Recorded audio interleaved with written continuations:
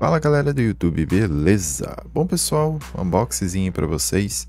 Processador Core i3 12100F, né pessoal? É um processador muito interessante, tem um desempenho monstruoso, né? Mas a gente vai fazer todos os testes aqui e ver na prática se realmente ele é um bom processador, ok? Então vocês podem ver, tem muito o que falar sobre ele, né? Ele veio novinho, é um processador novo, podem ver aí, não tem marca de arranhado, de nada. Ele veio 00 bala. O processador é novo, ok? Então eu vou colocar ele ali na máquina para ver se ele está funcionando certinho. E daqui a pouco eu volto, pessoal. Bom, rapaziada, voltei. A gente já está com o processador instalado aqui, vou mostrar para vocês. Aqui, ó, Core 3 12100F, 4 núcleos, 8 threads. Ele opera aqui a 4.1 GHz, né? Ele tem um boost de 4.3, mas é apenas em um núcleo, tá? Ele opera com clock em 4.1, tá aqui instalado bonitinho. A gente vai fazer os testes nele com a minha placa-mãe, que é uma Ruana Z H610M ITX. Em breve vai sair vídeo dessa placa aqui, é, que é uma plaquinha bem barata ali, que sai na casa dos 500, mas tem a H610 também normal, né? É, modelo ATX, micro ATX que sai na faixa ali de 380 a 400 reais. Eu vou deixar link na descrição que ela já é mais que suficiente para esse processador aqui, tá? Dá para usar até um Core i5 ali de boa naquela placa mãe. É, memória, eu estou utilizando aqui a memória da Geyser, é, 16 GB que sai na faixa dos 180 a 200 reais é, lembrando que vai ter links de várias peças de hardware aí no canal com preço acessível na descrição, ok? 3200, né, que é o limite que é sugerido pela Intel. E tá aqui, ó, 3200. Fui lá, tive o XMP de boa, não tive problema nenhum, ok?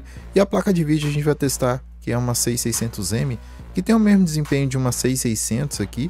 É uma plaquinha bem bacana que vocês vão ver ao longo dos testes aí, ela tem um excelente desempenho, ok?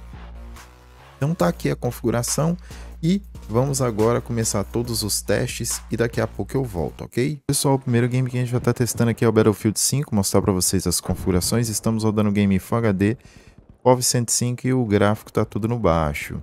Bom, rapaziada, a gente aqui tá tendo uma média de 173 FPS, então ficou bem bacana aqui o desempenho no BF. E é isso, vamos partir para um próximo game. Bom, rapaziada, próximo game aqui, Warzone 2.0. Mostrar para vocês as configurações. Estamos rodando o game em Full HD.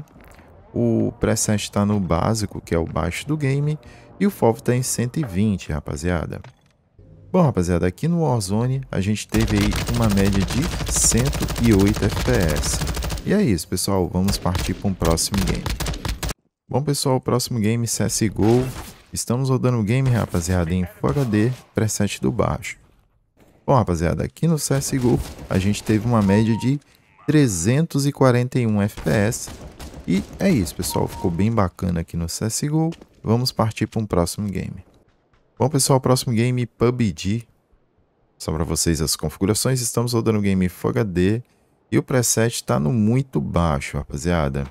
Bom, rapaziada, aqui no PUBG a gente teve uma média de 234 FPS. Então ficou bem bacana aqui o desempenho. E é isso, pessoal. Vamos partir aí para um próximo game. Bom, pessoal, o próximo game aqui, Far Cry 6. Estamos rodando o game em Full HD, preset do baixo, rapaziada. Tá aí. E bom, rapaziada, aqui no Far Cry a gente teve uma média de 135 FPS. Então ficou bem bacana aqui o desempenho. E é isso, vamos partir para um próximo game. Bom pessoal, o próximo game Forza Horizon 5, estamos rodando o game Full HD e o preset, rapaziada, tá no preset do muito baixo, ok? E bom, rapaziada, a gente tá no modo benchmark do game, onde a gente tá tendo uma média aí de 154 FPS, e isso por conta da 6600M, que mesmo no baixo tá sendo usada no máximo aí no Forza. E é isso, rapaziada, vamos partir para um próximo game. Bom, pessoal, o próximo game, God of War, mostrar para vocês as configurações. Estamos rodando o game Full HD. Eu ativei o FSR modo qualidade, que reduz para 720p. E os gráficos tudo no baixo, rapaziada. E bom, rapaziada, aqui a gente teve uma média de 123 FPS, então ficou bem bacana aqui é, o desempenho. E é isso, pessoal, vamos partir para um próximo game. Bom, pessoal, o próximo game, Resident Evil Village, mostrar para vocês as configurações. Estamos rodando o game em Full HD, pessoal, e aqui tá com tudo no máximo, porque o Village é bem leve, tá, rapaziada? Então aqui eu resolvi deixar tudo no máximo mesmo. E vocês vão ver aí, né, que a gente teve uma média de 148 FPS. Então ficou bem bacana aqui o desempenho. E é isso, rapaziada. Vamos partir para um próximo game. Bom, pessoal, próximo game, Witcher 3, com o update Nextgen. Só para vocês as configurações. Estamos rodando o game, rapaziada, em Full HD. E os gráficos, pessoal, tá tudo no muito baixo aí, tá? Para poder não ter limitações. E bom, rapaziada, aqui a gente teve uma média de 155 FPS. E mesmo com tudo no baixo aqui, ele tá levando a 6600M no máximo aí que ela pode entregar aí de FPS. E é isso, pessoal. Vamos partir para um próximo game. Bom, pessoal, o próximo game aqui é Uncharted 4. Vou mostrar para vocês as configurações. Estamos rodando o game Full HD e o preset está no preset do baixo, rapaziada. vou colocar ali no preset do baixo. Tá aí. E bom, rapaziada, aqui a gente teve uma média de 124 FPS. Então ficou muito bacana aqui o desempenho aqui no Uncharted 4. E é isso, vamos partir para um próximo game. Bom pessoal, o próximo game é o The Ring, vou mostrar para vocês as configurações, estamos rodando o game em Full HD e o preset eu coloquei no máximo porque o frame rate do Elder Ring é travado a 60, rapaziada. Mas vocês podem ver que está rodando muito bem aí e a gente vai aqui prestar atenção mais na estabilidade, tá rapaziada? A gente vê que está muito estável o desempenho aqui no Elder Ring, já que não tem como ver frame rate porque é travado, mas vamos destacar a estabilidade, vocês podem ver o frame time bem lisinho. E é isso rapaziada, vamos partir para um próximo game. Bom pessoal, também resolvi trazer o game lançamento aí, o Forspoken. É, vou fazer o teste aqui para vocês. E bom rapaziada, a gente está rodando aqui o game em Full HD, vou mostrar para vocês aí. E o gráfico tá no preset do normal, pessoal. Né? O preset padrão aí, ok? Tá aí. E bom, rapaziada, o game tá extremamente pesado, rapaziada. Extremamente pesado mesmo.